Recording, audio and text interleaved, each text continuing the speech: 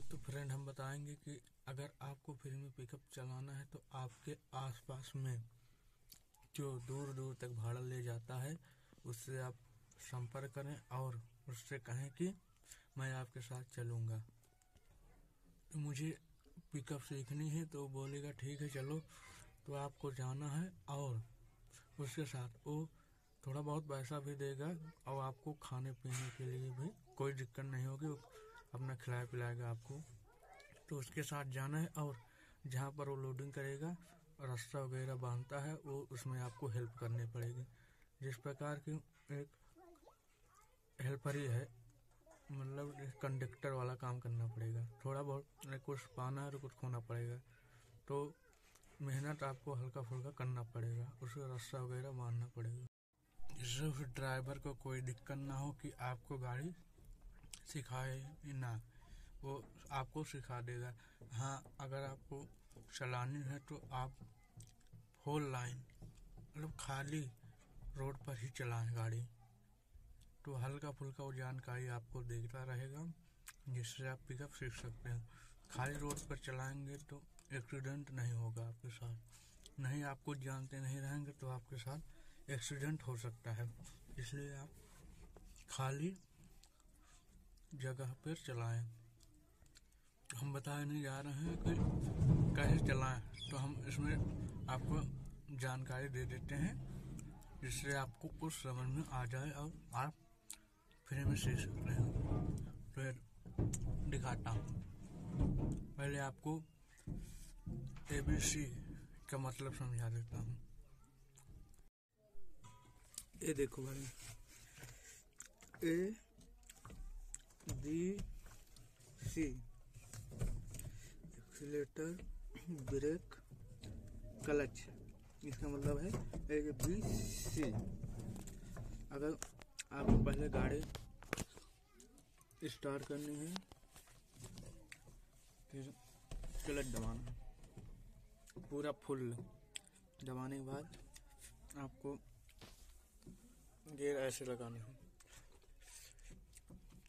इसमें गेयर में देखो। इसमें आपको बना है एक गेयर दो गेयर तीन गेयर चार गेयर पाँच और रिवर्स, बैक गेयर है। तो आपको फ़र्स्ट गाड़ी ऐसे करके देखो, न्यूट्रल हो गई है। तो आपको ऐसे हाथ करना है, ऐसे ऐसे करके ठेल उस वही प्रेस कर देना है, जिससे आपका फ़र्स्ट गेयर लग गया।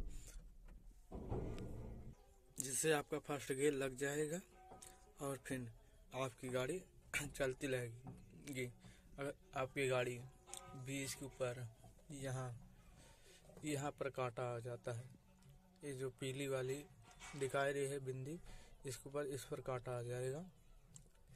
तो आप फिर दोबारा क्लच को ऐसे दाब कर, आपको ब्रेक नहीं मिला। क्लच को दाब कर, फिर सीधा ऐसे करके, ऐसे ऐसे इधर प्रेस कर देना पीछे में अगर आप ऐसे फ़र्स्ट गियर लगा है, इस पर करेंगे न्यूट्रल हो जाएगा।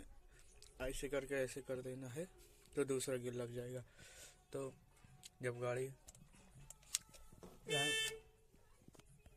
आपका दो नंबर लग गया, अगर आप जब कांटा ये दो नंबर में जब कांटा आपका यहाँ पर आ जाए, तीस के आर पार ये बिंदी जोन है, पीली वाली इसके आस पास आ जाए तो आपको दोबारा फिर क्लच दाबना है।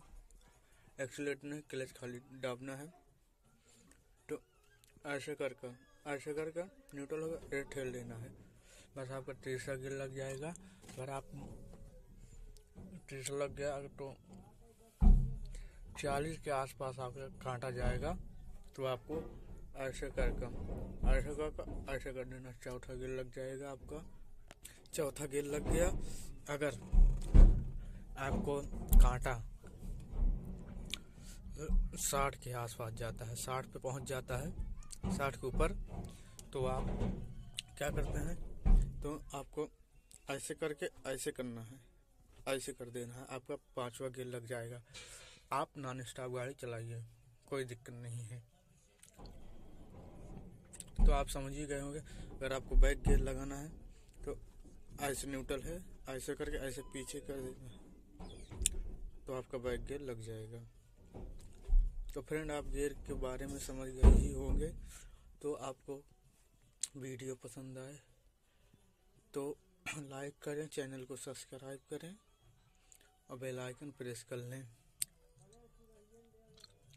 हाँ फ्रेंड अगर आपको, अगर जैसे कुछ लोग बोलते हैं कि पहले क्लच दबाएँ कि ब्रेक।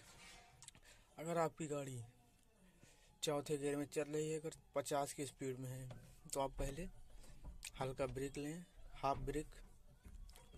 तो जब चालीस तक आ जाए आपका कांटा तो फिर आप क्लच दबाइए, फिर आप फुल ब्रेक मारिए। अगर आपकी स्पीड लिमिट के पार है मतलब गियर से जितना ऊपर जाती है, उसके पार है तो आप पहले क्लच दाब, ब्रेक दाबिए तो आप क्लच दाबें। जिससे आपकी गाड़ी अच्छी तरह से कंट्रोल हो जाएगी। तो आपको वीडियो पसंद आए तो लाइक करें। तो इस वीडियो में आपका स्वागत है। तो वीडियो एंड करते हैं। फिर मिलते हैं अगले एक वीडियो में। तब तक तो के लिए बाय